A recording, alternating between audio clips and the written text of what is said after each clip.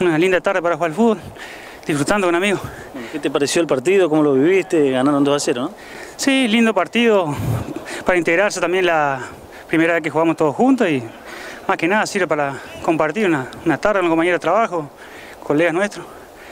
Así que y un lindo partido salió por suerte también, pudimos ganarlo creo yo bien, así que bueno, para buen arranque. Te tocó abrir el camino, marcar el primero. Sí, la verdad la quise, quise hacer un lujo a lo Ronaldo y me salió a lo, a lo no sé, pero bueno, entró, lo más importante y sí, eso sirvió para abrir el camino para, para el segundo también.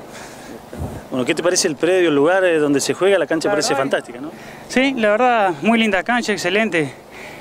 Bien el pasto, bien los arcos, las redes, así que bien los refri, la pelota también, que muchas veces por ahí, aunque uno no cree, influye mucho para desarrollar un buen partido. Este, hace, mucho que te sumaste a este grupo? ¿Cu- ¿Cuánto hace No. que está- ¿El primer partido?